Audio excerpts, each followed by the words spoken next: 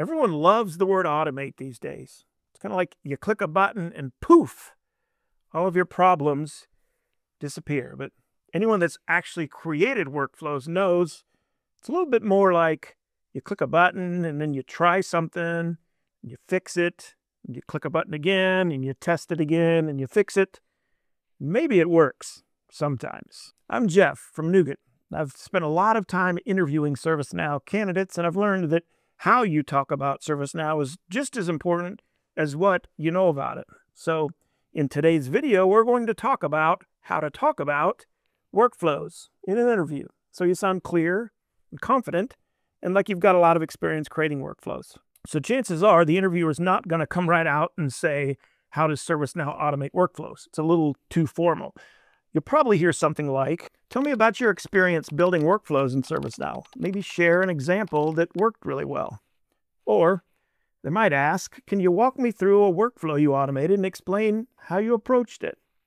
What they're really looking for isn't just whether you've used Flow Designer. They want to understand how you think about automating work, whether you grasp the logic behind it. And that's exactly what we're going to talk about in this video. We'll break down how to discuss your experience with workflows, even if it's just something that you've done in training, and explain it in a way that makes sense to the interviewer. And as we go along, towards the end, I'm going to give you clear examples of how to do that.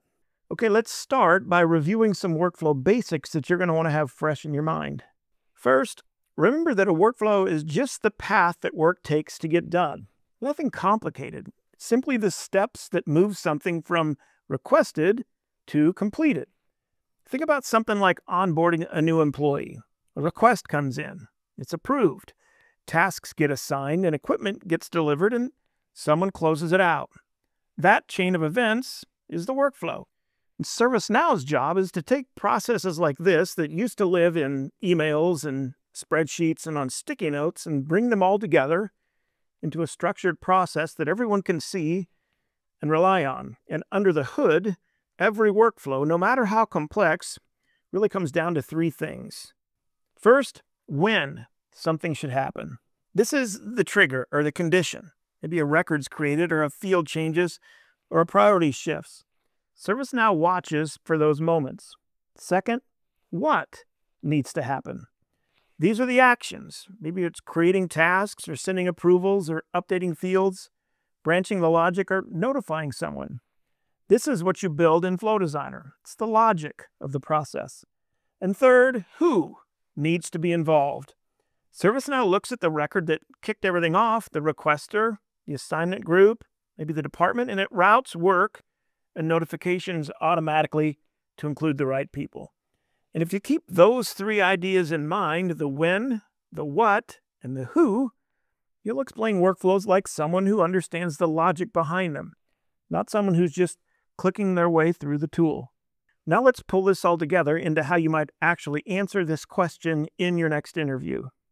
A workflow is really just the set of steps that work goes through from the moment it's requested until it's completed. ServiceNow gives you the tools that you need to make that automatic. Tools like Flow Designer that make it easy to lay out those steps visually and define when something needs to happen, what action needs to be taken, and who needs to be involved. Once you've got that logic in place, the platform handles the rest. Then add your own experience. For example, I built an onboarding flow that created IT tasks, requested manager approvals, and notified new hires when everything was ready. And working through that helped me see how all these pieces fit together, like the triggers and the conditions and the actions. How little automation can remove a lot of manual back and forth. And if you don't yet have a lot of real world experience, just be honest and show them that you've done something. I've been practicing in my personal developer instance, building simple flows for things like approvals and notifications. It's a great way to get hands-on with Flow Designer and see how the logic plays out. And if you haven't done that yet, seriously, go do it. It'll all click into place quickly once you've started doing some experimenting. And then wrap it all in value because that's what takes a good answer and makes it a great one. The real value is how much smoother everything runs. People aren't just chasing status updates and emails aren't getting lost and everyone can actually see where things stand. That's what automation really delivers, visibility, consistency and speed. So that's how you talk about workflows in an interview, clearly and confidently, and as though you really understand what's kind of going on in the background. And I've got to say, I wouldn't be doing my job if I didn't tell you this. If you're trying to land your first ServiceNow role, one of the first steps you should be taking is getting certified. The Certified System Administrator, or CSA certification, is a great first step. It's one of the first things interviewers look for because it shows you actually know your way around the platform. You can back up what you're saying. I've put together two resources that'll make your certification prep a whole lot easier. First, the CSA Study Companion ebook. It's free and it breaks down the core ServiceNow CSA topics things like tables and forms, lists and workflows and automation in plain English so you can actually understand how the platform works. You can grab it at knewget.com slash CSA ebook.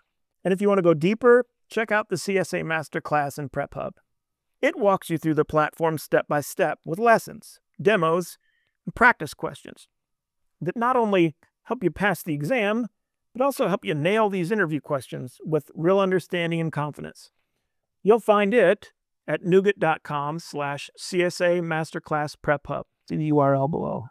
And if you've been enjoying this video series, make sure you subscribe to the channel.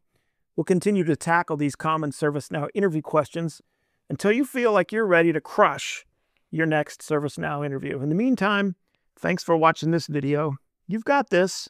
I'll see you in the next one.